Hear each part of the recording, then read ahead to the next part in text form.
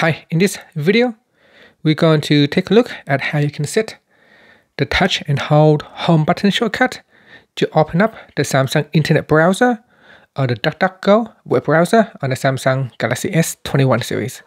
First, tap on the home key to go back to your home screen. Then swipe down at the top and tap on the settings button. In settings, go down and tap on apps and then you want to tap on choose default apps. Next tap on digital assistant app. And in here tap on device assistance assistance app. And in here you can choose Samsung Internet and then tap on OK. Or you could choose DuckDuckGo and then tap on OK. And now you can tap on the home key to go back to your home screen. Now if you want to open up DuckDuckGo, you can touch and hold on the home button. And that will immediately open up the DuckDuckGo web browser.